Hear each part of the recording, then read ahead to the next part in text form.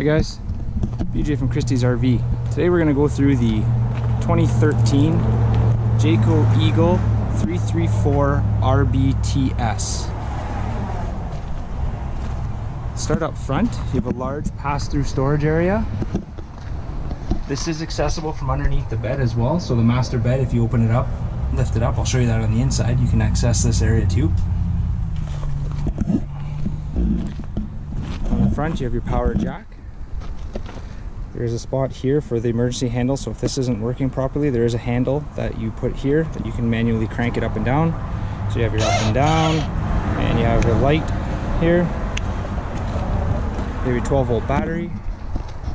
Behind this, four buttons on each corner. That opens up, and that's your propane tanks. So you have two 30 pound propane tanks, and you have a dual crossover regulator. And what this does is allows you to open both tanks. When one empties, it'll automatically switch over to the other tank and start using that propane. When you, when you notice that one is empty, you can flick the switch here, go to this tank, take the hose off, and you can bring the tank in, get it filled, and put it back on. Once this one's empty, it'll switch back over, and vice versa. You also have LED lights here on the front. There's a switch just below here for those.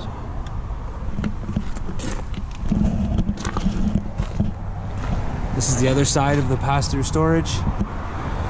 This is the handle I said for the um, power jack. If it's not working, manual crank. Then you have your stabilizer jack handle. And you have your 30 amp power cord. And there's about 35 feet of that there. So here's your stabilizer jacks. You have one of those in all four corners. So you can use that handle to crank that down. What you want to do is get the trailer as level as possible first and then crank those down to stabilize the trailer. Don't use those to actually level the trailer.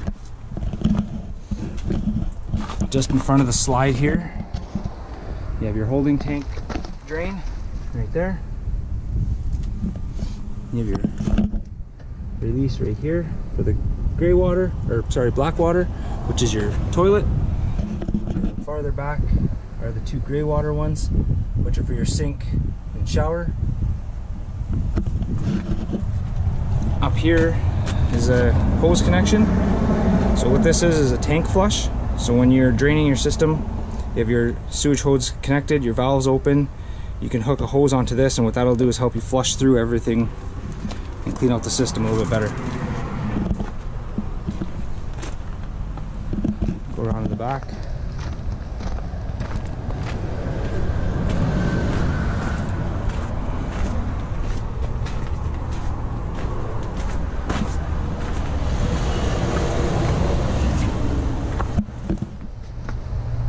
The back side, you have that slide. This slide isn't open yet. That'll open right there. You have your furnace exhaust right here.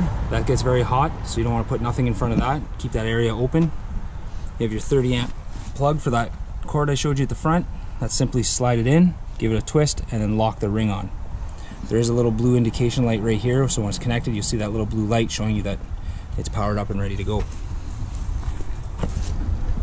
Inside the rear bumper is your hose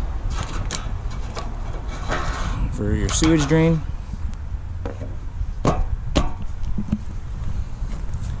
You have your hot water tank back here. So there's your drain plug here. Anytime you're going to drain the tank, you want to make sure you release the pressure using the pressure release valve or leaving one of the taps open inside the trailer. You don't want to try to drain it with the pressure on the tank. And here on this corner is your satellite cable input for TV. Outdoor shower, hot cold water, and has a handheld handheld unit so you can wash your feet and stuff. So you have that in there.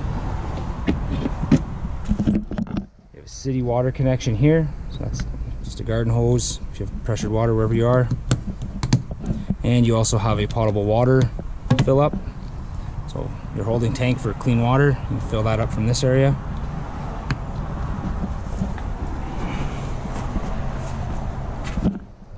And that right here is your drains for that holding tank. So this is how you drain the water right here. Right here is a gas connection. Just pull the little rubber off. It's a quick connect hose. And that quick connect hose is right here, stored in the drawer. And that is for your outdoor stove. So there's a connection right here. And they're just quick connects. You just pull them, slide them on, and click it on. So that one there into there, and that'll give propane to your, your stove. And that's a two burner stove. To light that, you just turn the dial on and light it with a, a lighter, barbecue lighter or whatever.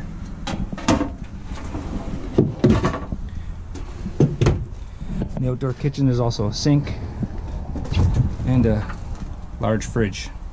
No freezer in this one, just a fridge. And you have lights and more storage.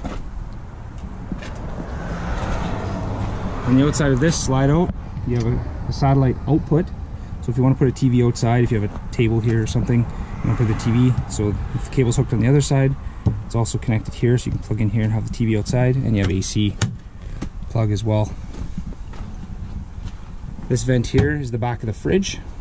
You want to keep this area free and clear as well. It does need proper airflow for it to work properly, so you don't want to have that blocked or anything leaned up against that. And then there's also another low point drain right here. Can't see it, but two hoses under there. And those are from the inside. For when you're draining your water tank, or not your water tank, sorry, your water lines, you open those and that'll drain the system. You also have another AC plug here. Outdoor speakers, outdoor light, and a power awning.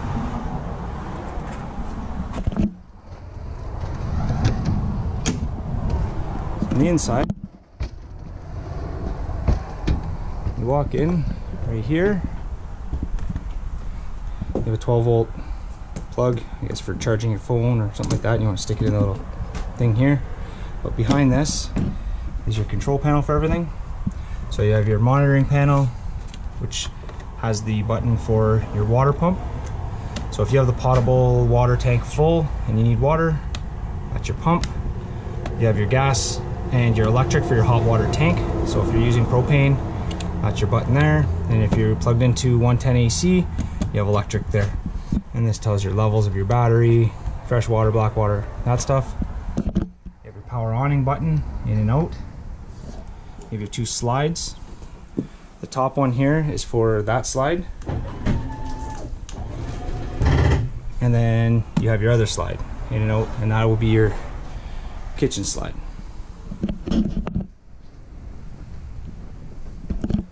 So make sure when you are operating these, the slides go all the way out for it to create a seal, or it has to be all the way in. Do never never use them when they're halfway. So when they're out, you'll hear that clicking sound. That means it's all the way out. You also have two light switches, one for your outside lights and one for your inside lights. That's behind that little door there.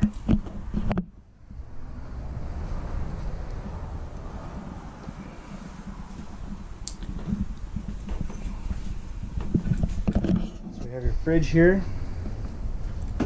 You have your automatic. So what that does is it searches for electricity first, 110 AC. If that's not present, it'll automatically switch to gas, which it just did, and it will light off the propane. Or you can have it strictly gas. If you know that you're not plugging it in, you want to run right off the gas, you can do that as well. Has your temperature setting, 1 to 5, and your fridge. And this one has the freezer.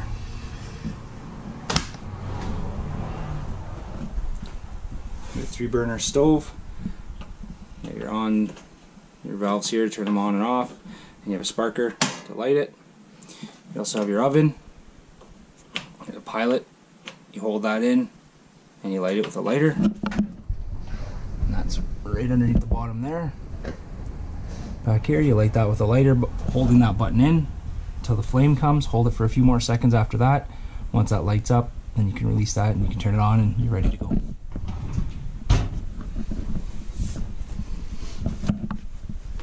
sink, more lighting. You do have plugs underneath. They are GFI protected. One there, one there.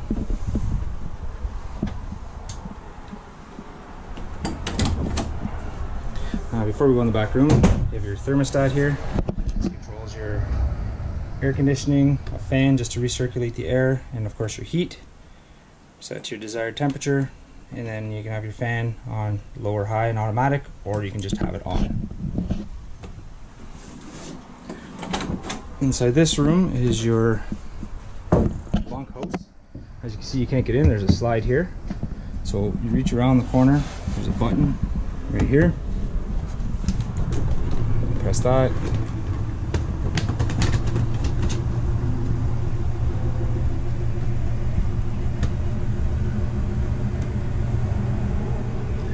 That'll slide out. And again, once it's all the way out, you'll hear that clicking sound. That means it's all the way out. It's reached its limit.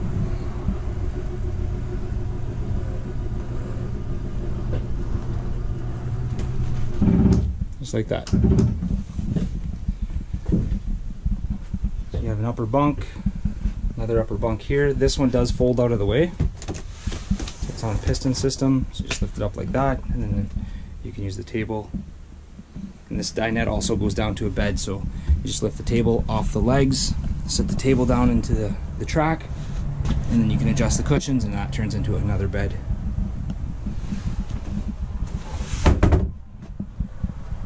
Lighting, lots of lighting.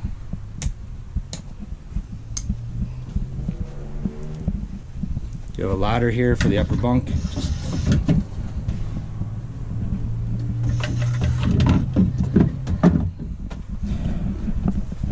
Have your converter here. So you have all your AC breakers all your DC fuses.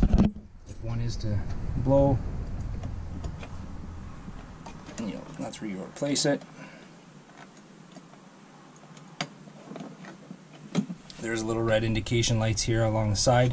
So it's plugged in and then something happens you can blow a fuse. Usually that red light comes on and that'll let you know exactly which one's not working or if the breaker trips. So if something's not powered, come check here first. Access here, four screws. That's access to the hot water tank. So when it's time to winterize, you need to switch the valves over. That's where you're gonna go.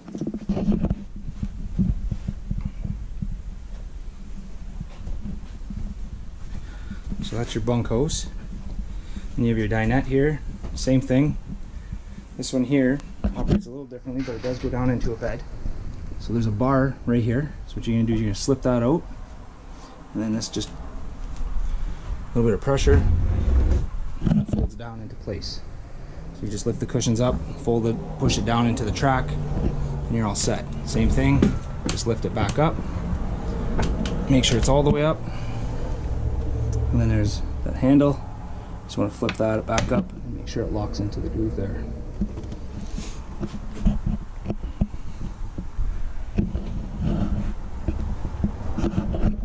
Lots of storage areas under the island, under the sink.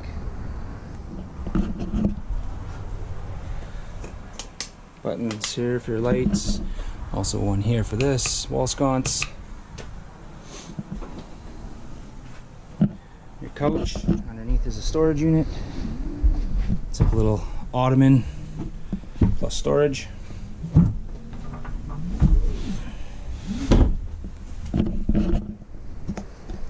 And this does fold down into a bed as well, just like a futon. Just lift up and pull it out.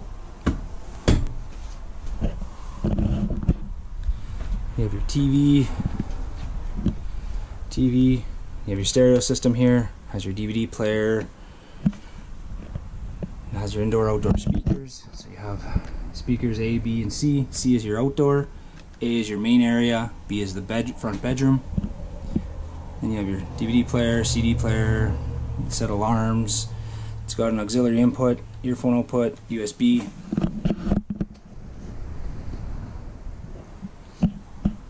And that goes into the front bedroom.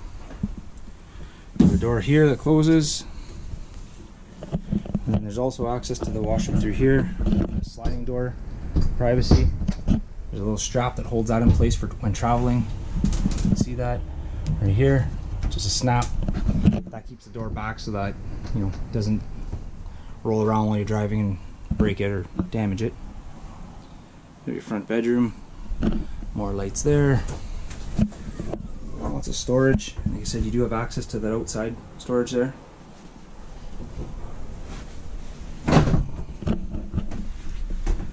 Large corner shower.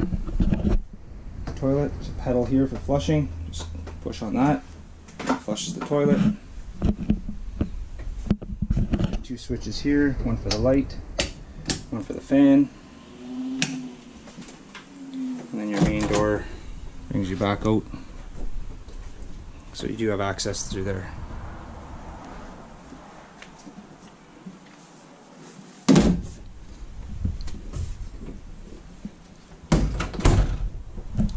You have an AC unit on the roof. So once you turn it on with the thermostat, you can adjust the air pressure. So if you want more in this room, you can open up these vents. If you want more to flow through these vents, you simply just close these and that'll give more pressure throughout the rest of the trailer. Also have a crank here for the awning, or not uh, awning, I'm sorry, for the antenna.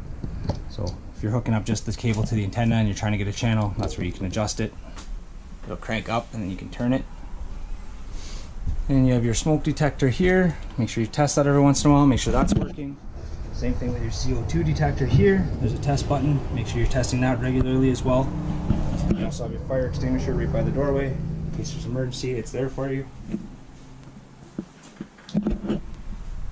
I think that is pretty much everything.